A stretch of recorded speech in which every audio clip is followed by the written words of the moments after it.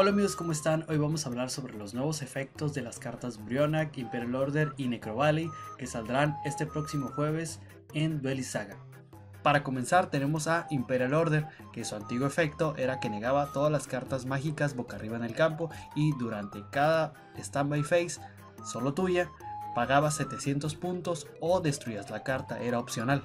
Con el nuevo cambio el efecto quedaría así. Niega el efecto de todas las cartas mágicas boca arriba y una vez por turno durante los dos turnos, eh, durante la standby phase, tienes que pagar 700 puntos de vida. Esta vez no es opcional, pero si te quedan menos de 700 puntos de vida, ahora sí la carta es destruida. O sea, no pierdes por pagar.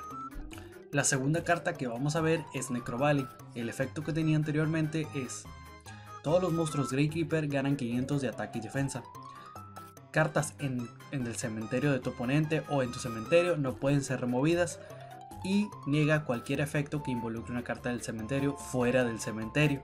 Si es un efecto que prenda en el cementerio, sí se puede jugar.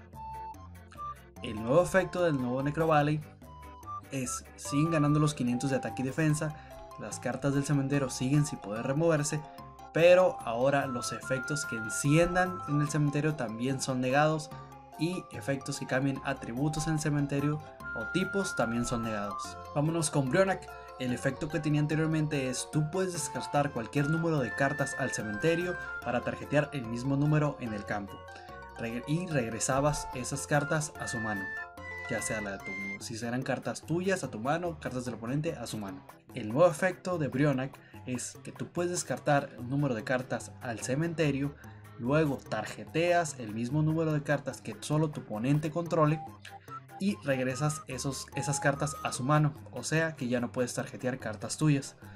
Y el efecto solo puede ser usado una vez por turno. Y solo por un Brionax. Si convocas dos Brionax, como es el caso de no CG que está a 2, solo puedes usar el efecto de uno. Bueno amigos, pues hasta aquí ha sido todo por el video. Muchas gracias por verlo. Si te gustó dale like y compártelo. Hasta la próxima.